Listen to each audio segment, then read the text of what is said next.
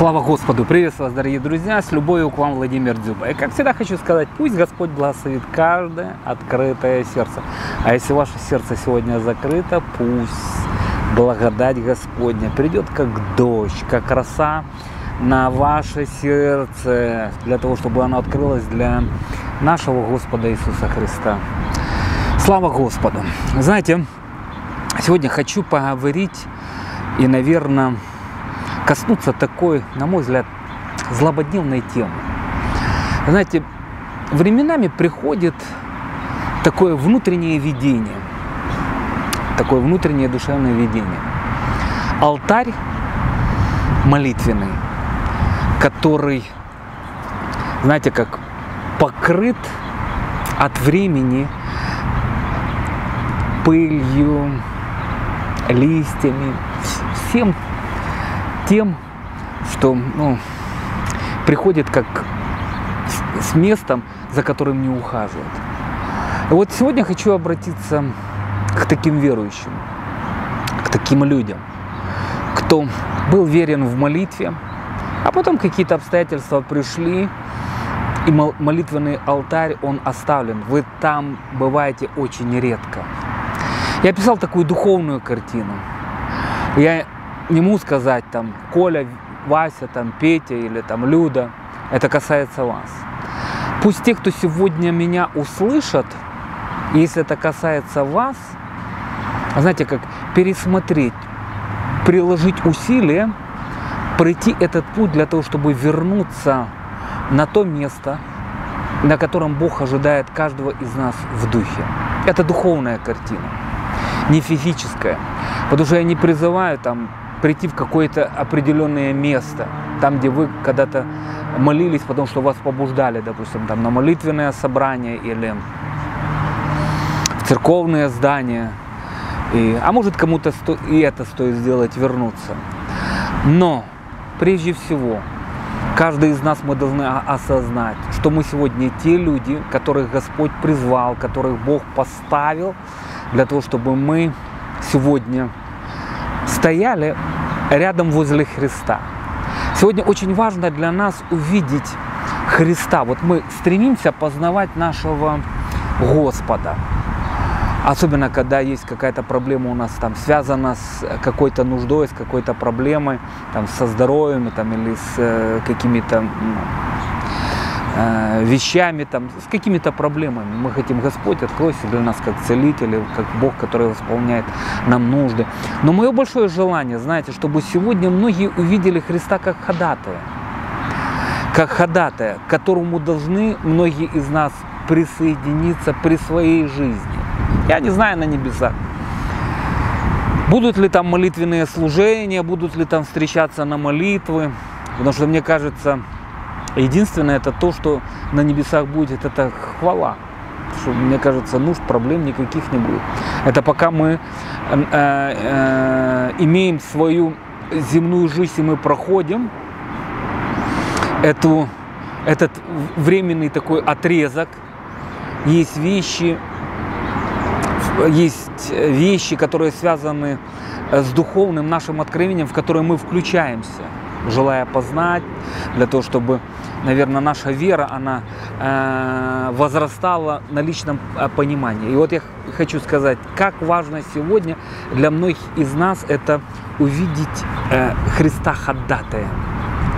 Тот, кто ходатайствует перед Отцом за нас. И я верю, что э, часть нашей молитвенной жизни, она должна быть связана с ходатайством ходатайство за тех, кто находится рядом возле нас, за тех, кто еще не покаялся, я имею в виду рядом возле нас, тех, кто уже стоят в духе, тех, кто уже сражается, потому что духовное сражение, оно сегодня есть, оно реальное, и оно очень жесткое, оно очень тяжелое. Поэтому мы ходатайствуем за людей, которые находятся в служении, осознавая, понимая то, что им приходится нести, знаете, как, наверное, двойную, двойную нагрузку. Вот почему Павел и писал что те, кто трудятся в Слове, они как бы двойного благословения, двойного благословения заслуживают. Наверное, по, этой, по той причине, что многим приходится переживать двойную такую нагрузку, помимо того, что э, есть жизнь, поэтому есть еще служение. Мы молимся за этих людей. Мы молимся за тех, кто сегодня находится в каких-то проблемах. Это тоже часть нашего ходатайства. Сегодня такая глобальная большая проблема, которая коснулась страны. И я думаю, знаете, как многие на эту проблему в Украине реагируют по-разному. Кто-то там имеет возможность, помогает финансами, кто-то материально э, включился в это. А мне кажется, что верующие, они должны включиться как раз в молитву, в ходатайственную молитву. Сегодня, наверное, те молитвы, э, которые звучат, они искренне, и, э, наверное, в этом есть ну, огромадная, колоссальная нужда. Почему? Потому что сегодня я понимаю, мы как люди, мы не управляем временем, мы не управляем эпохами, мы не управляем э, практически ничем не управляем, воздухом даже не управляем, погодой и днем, и ночью не управляем. Но мы понимаем, что тот, кто управляет, это управляет наш Господь.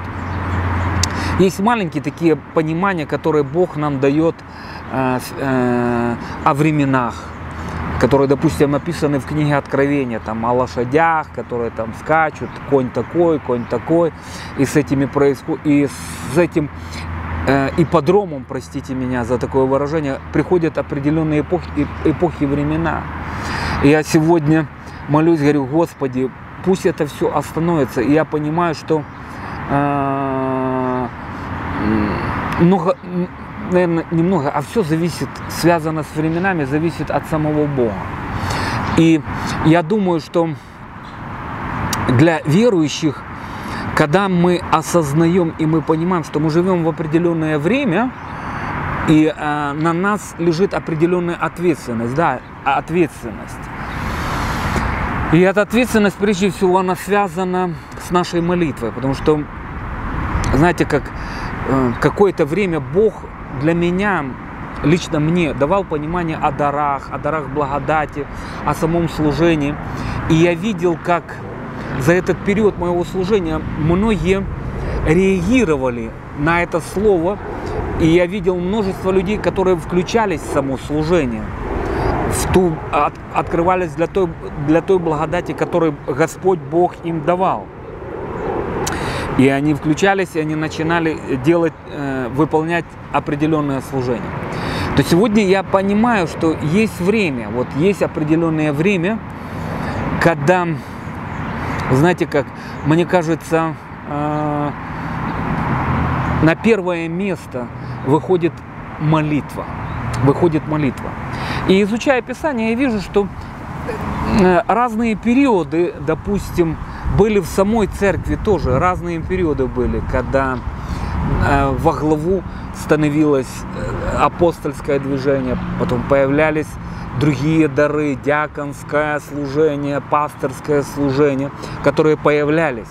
Но всегда в сложные времена подыма, подымалось, хода, подымалось ходатайство. И возникает вопрос, а когда оно заканчивалось?